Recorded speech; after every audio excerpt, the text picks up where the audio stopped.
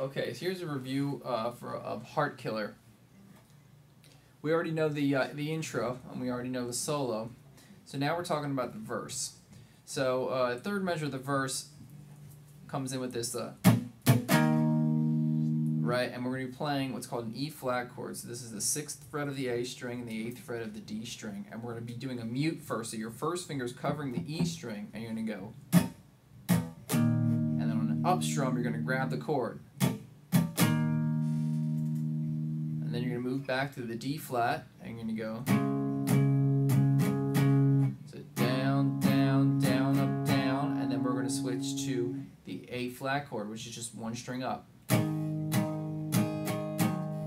like that. So to review, you'd have three, four.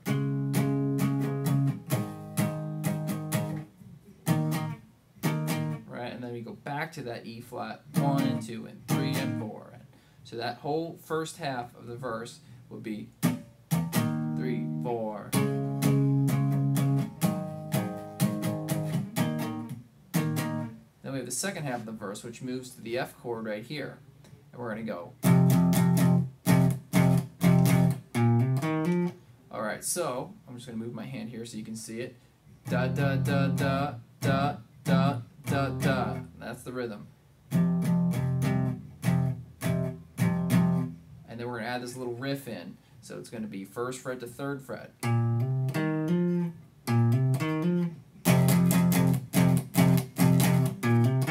we're going to repeat that, but jump down to that E flat chord again, the sixth fret. And then we'll go back to the uh, pre-chorus part. And then we'll end it on the E flat again, doing two measures of eighth notes, one and two and three and four and one and two and three and four, and we cut that. So I'm going to now play your uh, full verse. Then we'll put a little distortion on it.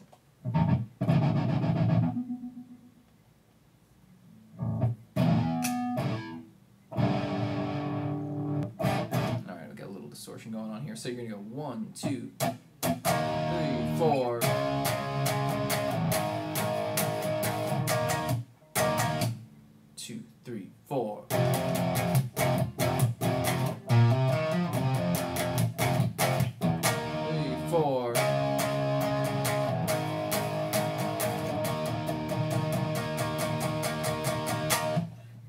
Be where we stopped.